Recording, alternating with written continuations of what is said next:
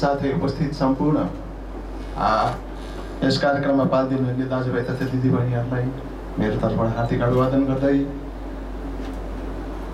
लिम्बुवानको सन्दर्भमा दुई हजार सैँतालिसको प्रजातन्त्रको पुनर्भाली पछिको प्रथम शहीद राजकुमार आङदेमले माङतोप्रति हार्दिक श्रद्धाञ्जली अर्पण गर्दै म उहाँले थालनी गर्नुभएको लिम्बुवानको सङ्घर्षको क्रममा झापाको कमलपुर मुहाको सशस्त्र प्रहरीद्वारा गोली लागि हत्या गरिएको जुन विषय हो उहाँको लक्ष्य लिम्बन प्राप्ति थियो। लिम्बनप्रति आफ्नो जीव ज्यान कुर्बान गरेर ठुलो गुण लगाएर राजकुमारजी हामीबाट छुटेर जानुभयो। तर मलाई जहाँसम्म लाग्छ लिम्बुवानमा हामी उहाँलाई कहिल्यै बिर्सिने छैनौँ। उहाँको योगदानलाई लिम्बुवान धरतीले लिम्बुवानका लिम्बुवानीहरूले जहिले तहिले सम्झिरहनेछन् र हरेक वर्ष उहाँको यसरी श्रद्धाञ्जली गरेर अर्पण गरेर उहाँलाई सम्झिनेछन्। तर हिजोसम्म मलाई शङ्का लागिरहेछ के त भन्दाखेरि लिम्बुवानले थालनी गरेको लिम्बुवानवादी मुभमेन्टमा राजकुमार जस्तै अर्का मित्रहरू पनि सहिद हुँदै गइराख्नु भएको छ। कहीँ शहीदहरूको सपना पुरा हुँदैन कि भन्ने शङ्का पनि उपशङ्काहरू पनि उठिरहेछ किनभने हालै नेपालमा म भर्खरै बसेर आएको चार पाँच दिन मात्रै बहुत छ सात महिना लामो नेपालमा बसेँ। संविधान बन्ने क्रम बडो एकदम तरलमा छ। संविधान किन बनेन त किन बन्दैन त भनेर धेरैको जताततै गुनासो रहेछन् प्रश्न रहिरहेछन् हरेक चिया पसल भट्टी पसल चौतारीहरूमा यसको छलफल भइरहेछन् तर तथास्थ रूपमा भन्नु पर्दाखेरि संविधान बनाउने अधिकार हाम्रा अघिल्ला पिँढीका मध्यम र अहिले पनि जातीय हैकमवादी हाम्रा ब्राह्मण गुरुजीहरूको हातमा छ। यदि ब्राह्मणहरूले चाह्यो भने संविधान आधी घन्टाभित्र भन्छ। पन्चानब्बे प्रतिशत संविधान खाका तयार भइसकेको छ।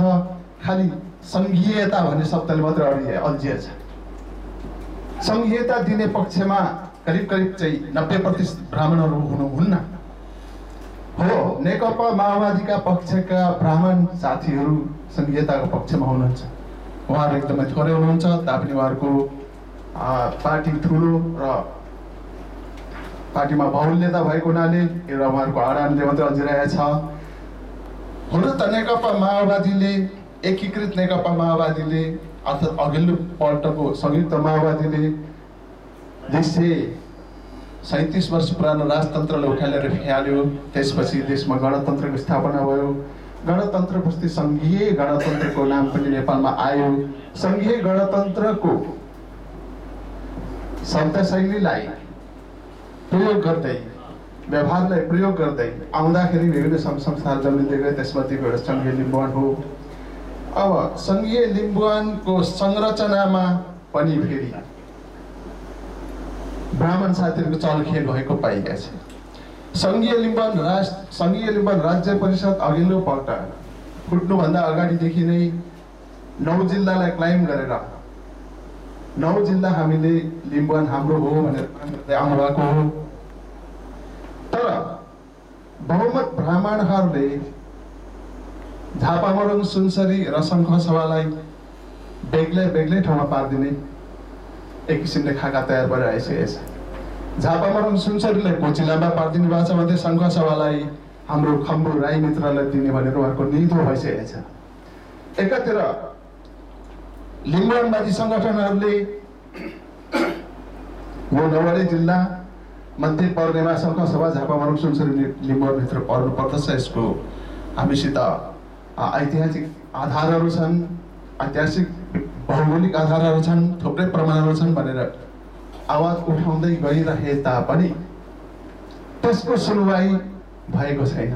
त्यसको सुनवाई पुऱ्याउनु पर्ने कुरो कहाँ त भन्दा कुरोको चुरो ब्राह्मणहरूको भयो। अहिले नेपालमा भर्खर एकजना मित्रले उठाउनुभयो एमालेमा काङ्ग्रेसमा केही खलल त आएको छ। अस्तिसम्म धेरै दुई तिन वर्ष अगाडि